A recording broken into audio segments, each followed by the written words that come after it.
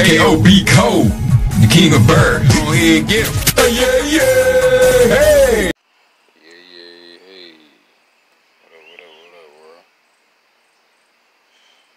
Man, there's a lot going on, man.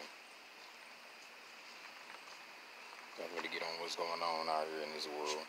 Um, we got the coronavirus and we got protests all over the world where they're tearing up every city. Oh, man. What can we do about it? It seems like this is all organized and planned, you know what I mean? To me, what let's say, alright, I'm gonna just say this. What if George Floyd was with them? Ooh, the cat. But yeah. What if it was all planned, man? They just made it up. You know what I'm saying? They can't plan events. They can like manipulate people with that. Let's say that they're on an organization and they come together and just make up something to get the people stirred up. Now, I made several videos where I would say that, you know, we have to look at this from a deeper lens and see if it could be a well-planned plot.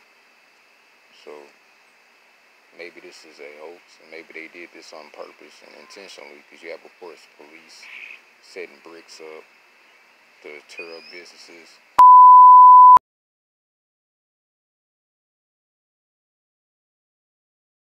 And to me, it seems like they don't care. They're just sitting there. They come out with batons and just sit there and just let people yell and stuff. It seems too organized, man.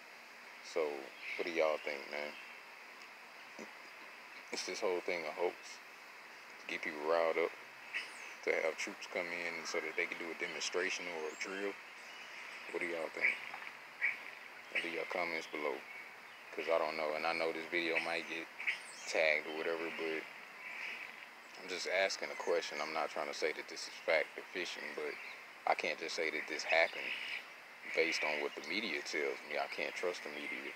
I have to go with my own instincts, and my instincts are telling me that this was well planned out.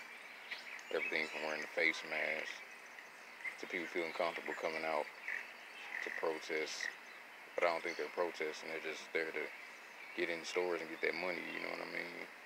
It's not much of a loss, but it's just to have a display for the media and for the media to make people out as animals or whatever. But what do y'all believe is going on? For real? Cause I don't know.